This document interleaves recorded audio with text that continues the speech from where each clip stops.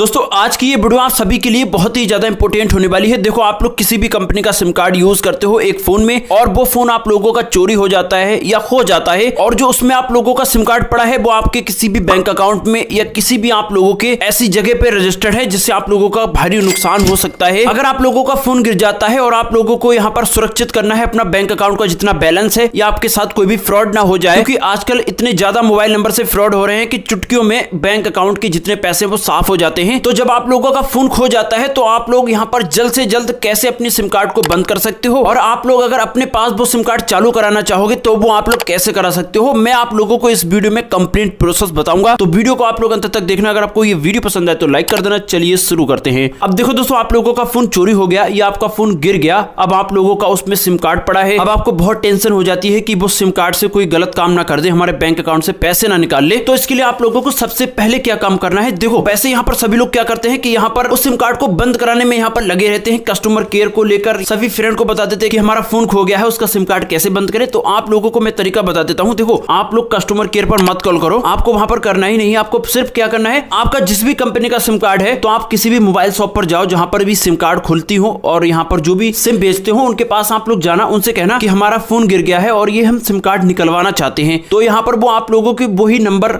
Replace कर देंगे SIM replace कर देंगे। और क्या है? जैसे ही आप लोगों ने अभी डॉक्यूमेंट दिया, आप लोगों ने सिम रिप्लेसमेंट का यहाँ पर प्रोसेस यहाँ पर करवा दिया तो आप लोगों को लगभग दो घंटे के अंदर अंदर आपका सिम कार्ड जो है वो खुल जाएगा, चालू हो जाएगा। और जो आपका वो फ़ोन खो गया, उसमें जो सिम कार्ड पड़ा है, जैसे ही आप लोग ये सिम रिप्लेसमेंट का प्रोसेस कराओगे, तुरंत ही वो बंद कर दिया जाएगा। तो आपको कस्टमर केयर पर बंद करवाने की कोई ज़रूरत नहीं है। जैसे ये खुलेगा और वो आपका सिम कार्ड बंद हो जाएगा। तो ये तरीका है, क्योंकि काफ़ी सारे लोग क्या करते हैं फ़ोन खो जाता है। कभी कभी तो यहाँ पर घंटों तक उनकी बात नहीं हो पाती है कस्टमर केयर पर परेशान हो जाते हैं। तो आप लोग ऐसा मत करना। हाँ अगर आप लोगों को कोई भी प्रॉब्लम है, आप लोग सिम कार्ड नहीं निकालवा सकते हो। आप लोगों के पास कोई भी डॉक्यूमेंट नहीं है या किसी भी प्रॉब्लम से तो आप लोग कस्टमर केयर पर कॉल करके आप लोग सिम बंद करवा देना, ठीक है? और चलो, ये तो हो गया कि आप लोगों का यहाँ पर सिम कार्ड तो मिल जाएगा। इजिली आप लोगों को ये प्रोसेस करोगे तो आपका सिम कार्ड दो घंटों के अंदर सिम कार्ड का सारा एक्सेस आपके पास होगा। आपके पास कॉल भी आने लगेंगे। और जो एसएमएस है, वो आप लोगों के 24 घंटे तक बंद रहेंगे, ठीक है? तो खुलने के 24 घंटे बाद एसएमएस भी आने लगेंगे। अब जैसे कि सिम तो मिल गया, अब आपका जो फ़ोन चोरी हुआ है या खो गया है उसको आपको कैसे पाना है तो उसके लिए यहाँ पर सरकार ने एक वेबसाइट जारी की है, जो कि मैंने इस वीडियो में आप लोगों को बताया है। ये वीडियो आप लोग देख लेना, उसमें मैंने आपको कंप्लीट प्रोसेस बताया कि आप लोग खोया हुआ फ़ोन कैसे पा सकते हो। इस वीडियो का लिंक मैंने वीडियो के डिस्क्रिप्शन में दे दिया है। अच्छा हम बात करते हैं, अगर आपका सिम कार्ड टूट जाता है या आप लोगों का खराब हो जाता है, सिम कार्ड तो आपको